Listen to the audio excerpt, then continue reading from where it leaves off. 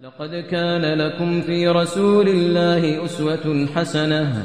لقد كان لكم في رسول الله أسوة حسنة لمن كان يرجو الله لمن كان يرجو الله واليوم الآخر وذكر الله كثيرا. نحمده ونصلي على رسوله الكريم. أما بعد. حضرات اسٹوڈیو اسلام میں پھر ایک بار آپ کا استقبال ہے۔ سیرت کے موضوع پر آپ سن رہے ہیں۔ آج اس بیٹھک میں سیرت کے اس پہلو کو بیان کیا جائے گا جو آپ وسلم کی پیدائش کے بعد۔ آپ وسلم کی پیدائش کے بعد حسب معمول جو سلسلہ مکہ میں عرب قبیلوں کا تھا کہ اپنے بچوں کو دیہاتوں میں، دایاؤں کے ساتھ یعنی جو دودھ پلایا کرتی تھیں، بھیجا کرتے تھے۔ آپ صلی اللہ علیہ وسلم بھی اسی حسب دستور حلیمہ سعدیہ رضی اللہ عنہ کی خدمت میں آئے۔ گرچہ کہ حلیمہ سعدیہ پہلے تو اس بچے کو لینے میں ہچکچا رہی تھی، اس لیے کہ یتیم تھا، باپ کا وجود تھا نہیں۔ اور ان خواتین کی خواہش یہ ہوتی تھی کہ ماں باپ ہوں تو ہمیں زیادہ سے زیادہ اجرت ملے۔ لیکن جب ان کو کوئی بچہ نہیں ملا تو مجبوراً اس بچے کو بھی لے کے جاتی ہے۔ سیرت کی یہ ساری باتیں مختصر سی آپ کے سامنے پیش کی جائیں گی کیونکہ یہ ساری باتیں آپ بارہا سنتے رہتے چار سال تک حضرت حلیمہ سعدیہ رضی اللہ عنہ کے پاس آپ وسلم رہتے ہیں۔ آخر میں وہ واقعہ پیش آتا ہے جس کو اللہ تبار تعالیٰ نے سورة الانشراح علم نشرح لک صدرک میں ذکر کیا۔ لیکن بچپن میں بھی آپ سے حضرت حلیمہ سعدیہ کے گھر رہتے ہوئے بہت سے ایسے واقعات ہوتے ہیں جس سے خود حضرت حلیمہ سعدیہ اور ان کے گھر والوں کو پتہ چلتا ہے کہ یہ بچہ کوئی معمولی نہیں ہے۔ جیسا ان کے گھر میں برکت کا ہونا، ان کی سواریوں کو چارہ زیادہ سے زیادہ ملنا اور ان کے جانوروں میں زیادہ سے زیادہ دودھ کا پیدا ہونا، یہ سب بہت بڑی چیزیں ہیں۔ چار سال کے بعد پھر آپ واپس لا کر ان کی امی جان یعنی حضرت آمنہ کے پاس چھوڑ دیتے۔ امی جان اس کے بعد اپنے سسرال یعنی مدینہ منورہ بچے کو لے کر جاتی وہاں رہنے کے بعد جب واپس ہوتی ہیں تو آپ وسلم کی عمر مبارک اس وقت چھ سال کی ہوتی۔ ہے مکہ اور مدینہ کے درمیان ایک مقام ہے ابوا، وہاں پر آپ صلی اللہ علیہ وسلم کی والدہ کا بھی انتقال ہو جاتا ہے۔ آخر آپ اپنی امی کی جو غلام تھی، خادمہ تھی، جن کا نام ایمن تھا، وہ آپ کو لے کر مکہ مکرمہ آتی ہے۔ تو اس کے بعد آپ کے دادا جان یعنی عبد المطلب پرورش کرتے ہیں۔ آٹھ سال کی عمر میں ان کا بھی انتقال ہو جاتا ہے۔ تو وہ اپنی آخری عمر میں اپنے دوسرے لڑکے ابو طالب، جو حضور صلی اللہ علیہ وسلم کے چچا تھے، ان کی پرورش میں اور ان کی کفالت میں دے کر جاتے ہیں۔ ان کو وصیت کرتے ہیں کہ تمہاری زندگی میں، پوری زندگی ان کی کفالت میں گزارنا ہے۔ لہذا ابو طالب آپ کی کفالت کرتے ہیں۔ آپ صلی اللہ علیہ وسلم بڑے ہوتے ہیں تو خریش کے بکریاں چراتے ہیں۔ اکثر انبیاء کرام کے تعلق سے آتا ہے کہ وہ بچپن میں بکریاں چرایا کرتے تھے۔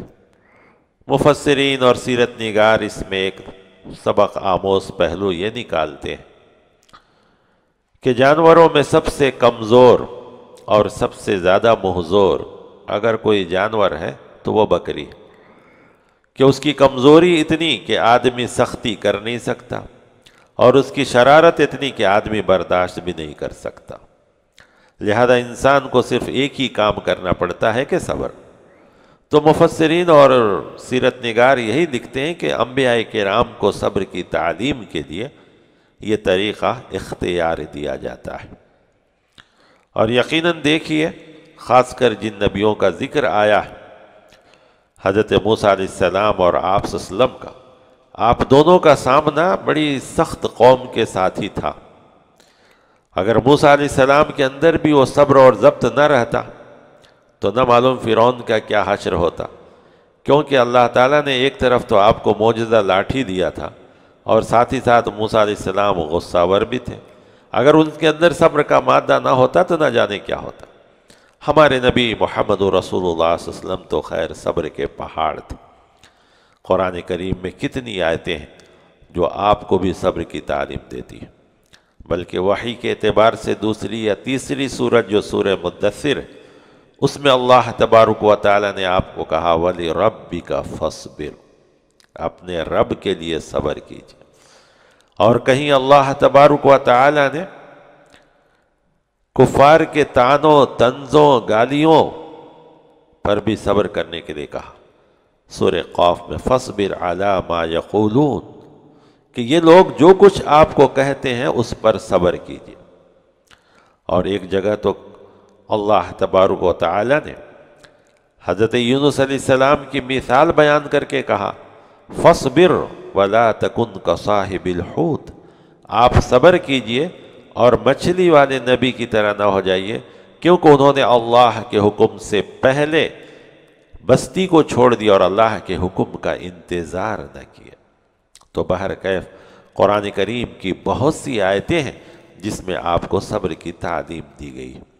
لہذا یہی صبر تھا کہ وہ جس جگہ بھی آپ گئے، کیسی کیسی تکلیفوں کا سامنا ہوا ہاں وہ مکے میں شیب ابی طالب کی گھاٹی میں بائی کاٹ کا زمانہ ہو۔